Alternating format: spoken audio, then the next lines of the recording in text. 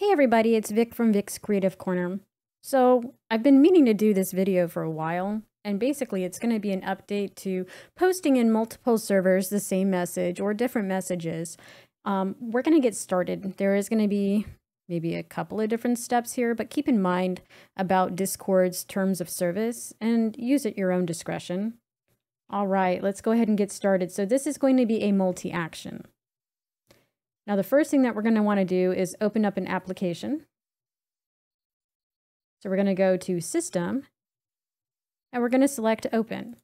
I already know my command prompt for mine. This is going to be what you're going to actually put in here to open up Discord.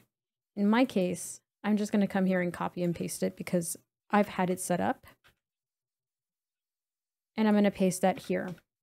Basically, when I select this, it'll pop Discord open. All right, so again, I will put this somewhere in the description of the video so that way you all can set up opening up your Discord. But the next thing that we're going to do is select our server. So we need to look for Elgato's Discord app, plugin, and what we're going to do is select the text channel.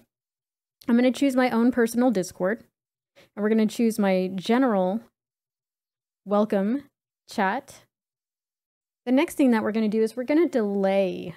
After we open this, we want to give it about a second or two seconds. Because when you're opening up an application, right, it's going to open up to whatever it's going to do. It's going to go to the channel the moment it opens up. So we're going to create a delay. So I'm going to actually delay this by one second after we open the app. Actually, you know what? I'm going to call this two seconds.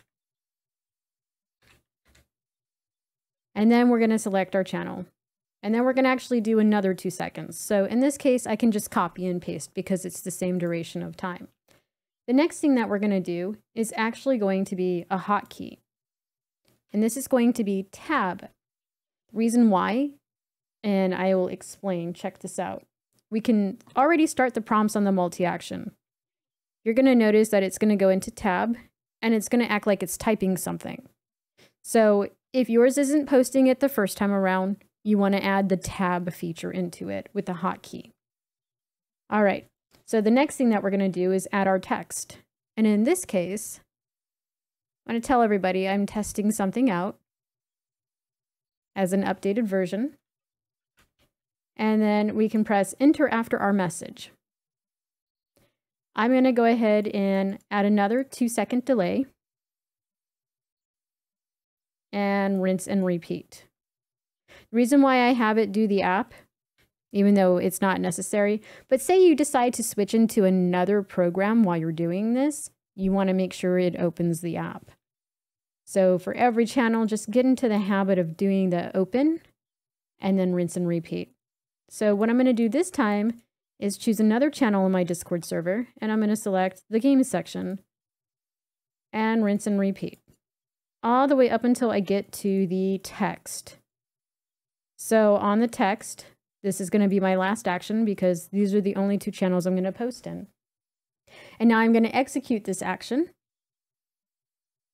So this is the button I'm clicking on. And we're going to watch it in action.